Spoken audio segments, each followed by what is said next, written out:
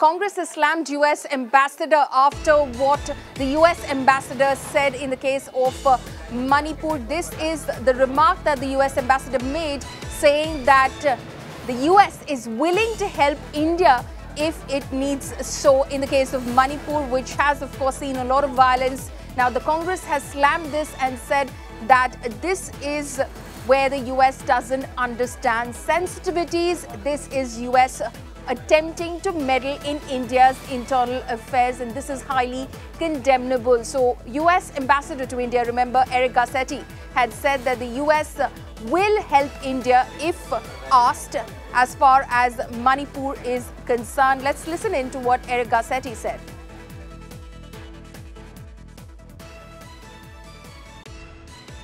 We just we pray for peace there.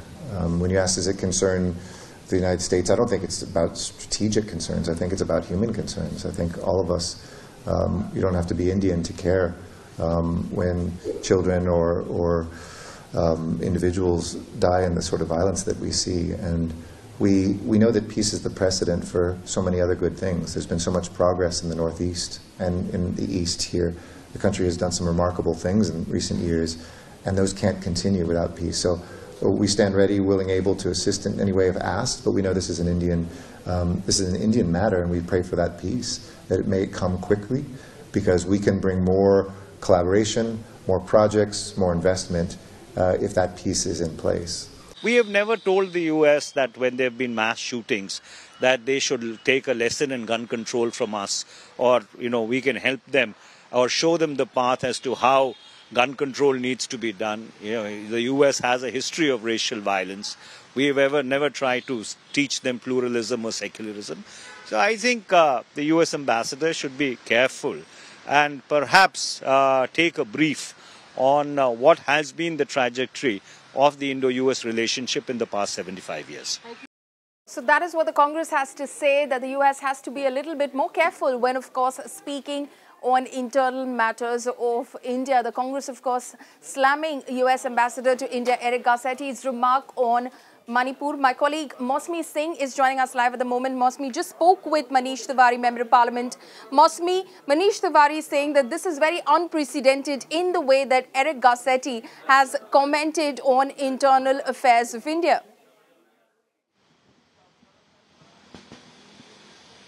You know, uh, Manish Tiwari was very pointed in his attack when he said that uh, he should be reminded of the tumultuous uh, history of in, uh, India-America relations. And, you know, interestingly, Paulami, today Rahul Gandhi is also going to do a press conference and that's going to be on the same uh, issue of Manipur and the way uh, the violence has escalated there and the way there is, the two communities are bitterly divided.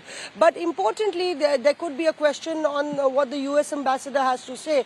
And uh, Manish Tiwari is treading uh, very cautiously on these grounds because Rahul Gandhi, if you remember, when he was in UK, uh, he was uh, accused and slammed by the BJP for saying that the Europe and the US are turning a blind eye to what's happening in India. So, uh, you know, it's a tit for tat that's continuing and Manish Tiwari there, you know, even going on to the extent of saying that, you know, the US ambassador should actually take care of uh, Indian uh, sensitivities as far as meddling with its internal affairs are concerned. Okay. Mani, Mausami, thank you so much for joining us with all of those uh, details. Mausami there spoke earlier with Manish Tiwari. It's going to be interesting because Rahul Gandhi, as she said, will be addressing a press conference today and it's going to be on the subject of Manipur. So there's going to be the question, of course, about the comments that the US ambassador to India has made regarding Manipur.